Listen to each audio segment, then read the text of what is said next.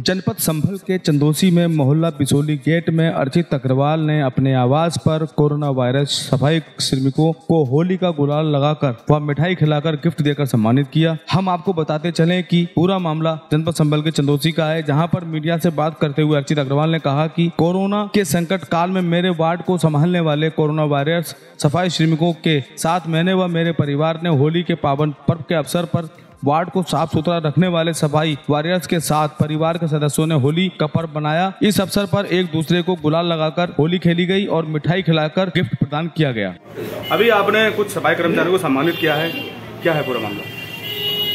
ये होली का त्यौहार है सभी हिंदुओं भाइयों का त्यौहार है और इसमें ये सारे कर्मचारी जो हमारे स्टाफ है नगर पालिका स्टाफ है, ये सबसे ज़्यादा मेहनत करते हैं। पूरे दिन जो है इनकी सफ़ाई में भी लग जाता है, फिर जाके ये त्यौहार मनाते हैं। तो मैं, मेरे मन में ये आई कि इनके लिए आज हम इनके साथ होली खेलें।